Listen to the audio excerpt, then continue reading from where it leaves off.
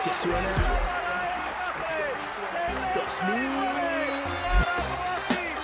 Hertz Con el Cáceres oh,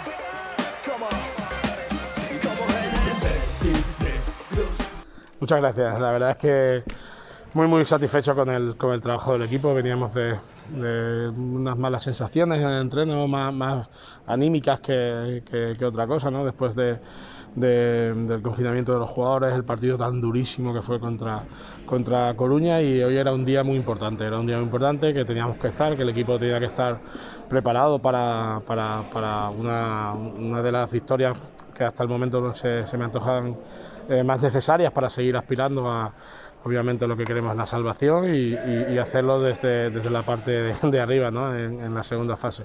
Y el equipo está excepcional, excepcional. Yo creo que eh, ni siquiera esos momentos de dudas ante la zona, eh, obviamente no la teníamos eh, todo lo preparada que nos hubiese gustado, pero eso ante la zona, alguna situación en algún, bloqueo, pero el equipo se ha vuelto a reponer. Creo que ganar ante un excelente equipo como es Oviedo, que llevaba un- una racha de, dos victorias, el partido contra Palencia estuvo a punto de ganar y que además está realizando un baloncesto muy espectacular, la verdad es que es para sentirse orgulloso del trabajo del equipo. El equipo ha estado muy fuerte en defensa. Sí, sí, es una de las señas de identidad. Nosotros tenemos gente que tiene mucha facilidad para anotar, gente que, puede hacerlo, pero gente que también tiene que ayudarnos en defensa, ¿no? Y creo que todos en líneas generales han hecho un trabajo excepcional. Eh, siempre esperamos que, que Fran y Jorge lo hagan porque pueden hacerlo, pero el trabajo de Jeff y de Devin ha sido espectacular, ¿no? Y, y bueno, los interiores con Arteaga creo que, ha sido una, defensa excelente de, de Roland y Sandy. Ha habido momentos, sobre todo en el segundo eh, cuarto, si no me equivoco, que llevabais una ventaja de 20 puntos. Sí, bueno, al final no miras mucho el marcador. De hecho, me lo han dicho hace un momento a la máxima que habíamos tenido, pero, pero sí, eso indica que el equipo sabe lo que, lo que, lo que quiere hacer, eh, cómo lo quiere hacer, y aunque a veces todavía nos falta esa consistencia, creo que estamos en buena línea.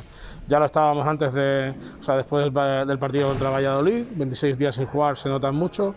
Este segundo partido creo que el equipo se ha visto un poquito más suelto, un poquito más convencido de, de lo que tiene que hacer y con más confianza, y, y ahora ya pensar en Lugo que, que está a la vuelta de la esquina.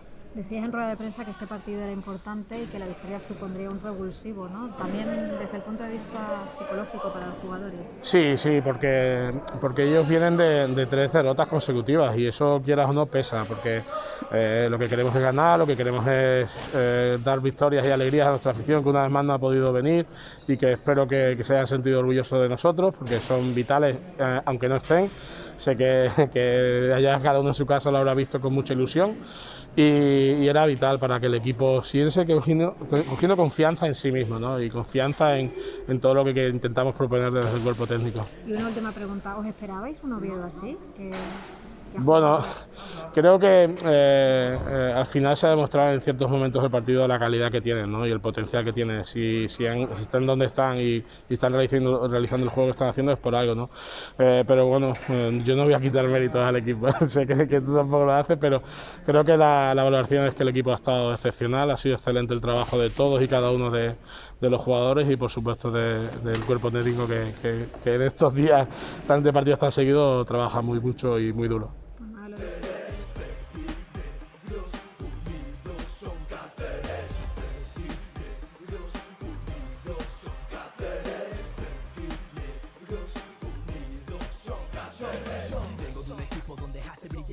De la NBA